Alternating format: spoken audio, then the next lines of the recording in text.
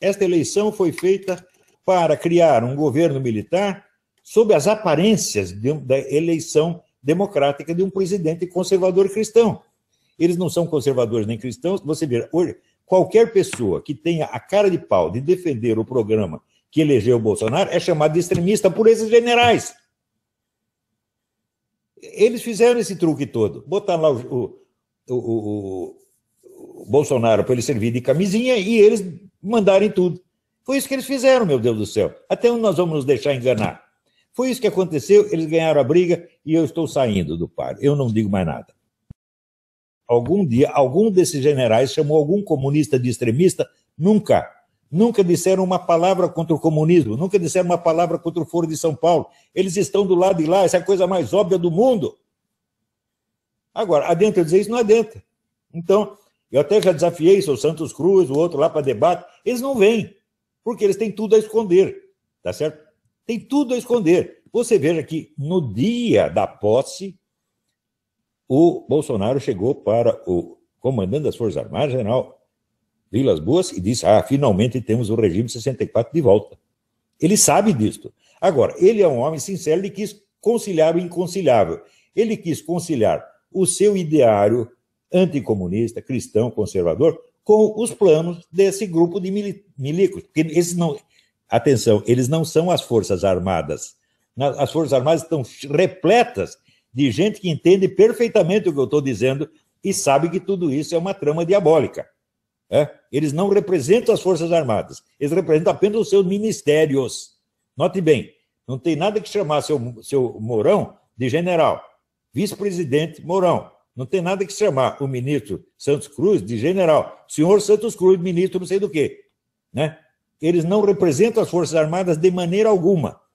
Houve algum pronunciamento de algum comando militar contra mim? Nada até agora. Só se vê esses camaradas falando. Eles, a turminha deles. Então, eles estão se fazendo como se eles fossem o espírito mesmo das Forças Armadas. Eu duvido que nas Forças Armadas, não, não, que as Forças Armadas não estejam repletas de gente que estão revoltados contra essa cumplicidade com o Foro de São Paulo. Cumplicidade de, como é que diz, de bater continência e fazer agradinho em ministro, ministro da Defesa comunista, que já tivemos quatro. Você acha que é brincadeira? vamos dizer, a defesa de um país está na mão de gente do Foro de São Paulo. Você acha que isso é brincadeira? Eu estou convocando as Forças Armadas, invocando as Forças Armadas para que elas se pronunciem. Vocês querem aliança com o Foro de São Paulo? Vocês querem a aproximação do Brasil com China e os países árabes e a ruptura com os Estados Unidos e Israel? É isso que vocês querem? Foi para isso que vocês fizeram o Movimento 64? Foi isso que eles prometeram ao Brasil? Né? ministro da Defesa comunista o tempo todo? É isso que vocês querem? Acordem, gente.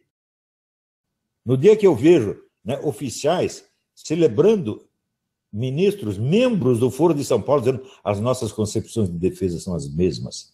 Hora que eu vejo isso, falo, como as mesmas? As nossas concepções de defesa são as do Foro de São Paulo? Que brincadeira é esta? Será que pensam que todos nós somos idiotas? É? Eu não digo que esses generais sejam comunistas, não, não é esse o problema. Né? É, é, eu acho que eles acreditam naquele isentismo que não pode mais ter ideologia. Então, só pode ter duas opções: ou você é comunista ou você é neutralista. O anticomunismo está proibido. Está proibido, está encorajado, é chamado de extremista o tempo todo. Esses comunistas matam, roubam, assaltam, estupram, fazem assim, assassinato em massa, e o extremista sou eu. Ora, não, não é possível que todo mundo nas Forças Armadas pense dessa maneira. Simplesmente não é possível. As Forças Armadas estão cheias de homens honrados, eu mesmo conheci muitos. Não é possível que eles aceitem esse tipo de conversa. Vamos discutir a realidade histórica objetiva. Por exemplo, vocês vivem se gabando que as Forças Armadas nos libertaram do comunismo. Eu digo, não, elas não fizeram isto. Quem desconhece o passado se engana no presente e no futuro. Então temos que começar por decidir este ponto. E depois outras coisas aproximação com o Foro de São Paulo. Vamos discutir? Não, eles não podem discutir, porque tudo isso tem que ser secreto. Hã? Então, a militar está acostumada a decidir tudo em segredo. Ninguém sabe o que eles discutem. E estamos levando isso para dentro da presidência da República e do governo. Então vira uma espécie de governo secreto. Isso tem que acabar, nós temos que discutir as coisas abertamente. Eu estou aqui desafiando o seu Santos Cruz. Vamos debater isso aí como homens. Não adianta ficar fazendo intriguinha pelas costas. Ah, ele falou mal do general Vilas Boas. É, que palhaçada é esta? Será que não sabe ler? Está fingindo que não sabe ler para incriminar um inocente. E pior, está usando o comandante supremo das Forças Armadas como instrumento, como fantoche, numa armadilha criada para acusar um inocente. Estão usando o próprio comandante das Forças Armadas como instrumento de crime, sem que ele o saiba, meu Deus do céu. Nunca houve um desrespeito desse tamanho. Quem fez isso? Santos Cruz. A partir de hoje, eu me ausento da política nacional. Eu não falo mais disso porque eu não tenho condições. Veja, sem ter sequer uma página do Facebook, como que eu vou dialogar com o público? Não com o Grupo Lavista, o Grupo Lavista não existe, existe um público difuso, que são os, dizer, os leitores dos 500 mil exemplares do meu livro. Se calcula, geralmente, cada livro tem três leitores, então são 1 milhão e 500 mil é, leitores. Esse público eu falo, mas eles não são um grupo organizado, não são um grupo político. E eu, sobretudo, eu não tenho atividade política. Eu só analiso e explico. Eu conto o que eu estou vendo. Agora, esse pessoal age politicamente o dia inteiro, pela frente e pelas costas, e sou eu que estou tramando coisa? Ora, ah, ele atacou as Forças Armadas. Atacou as Forças Armadas do caralho. Né? Eu elogiei esse Santos Cruz e ele me respondeu com insultos. Esse homem é louco. Quem, você acha que é normal responder elogio com insulto? Pessoa normal faz isto? Claro que não.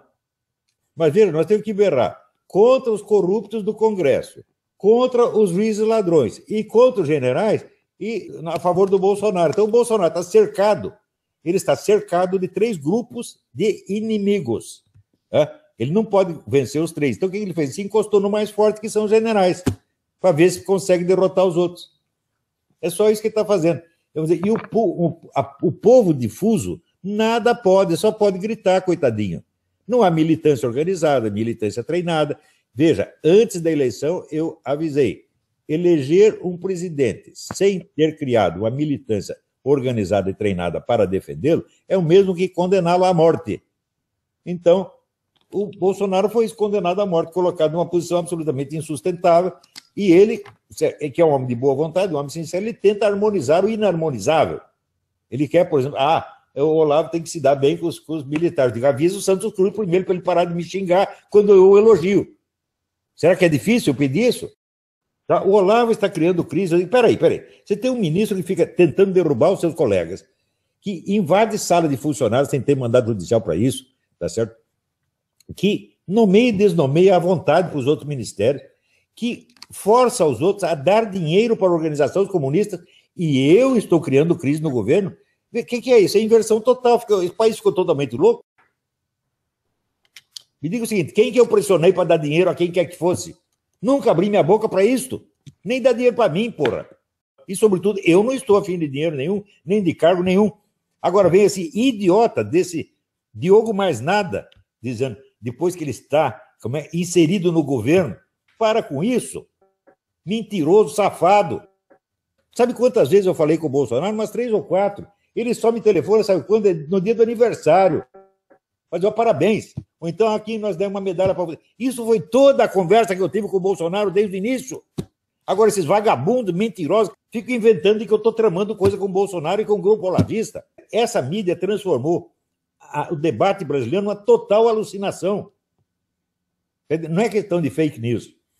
Quando você fala fake news, quer dizer, tem notícias verdadeiras e notícias falsas. No Brasil não tem mais, é tudo alucinação.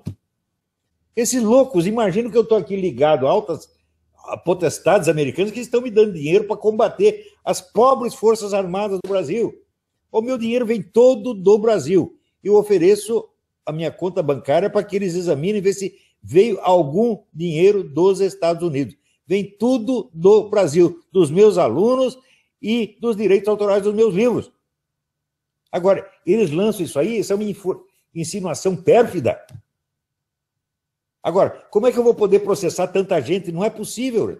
Então, criaram assim, um absoluto massacre, um cerco total de mídia para destruir, não a reputação só de um sujeito, quer destruir a minha pessoa, me colocar numa situação de tal impotência dentro desse ataque que eu tenho um infarto e morra.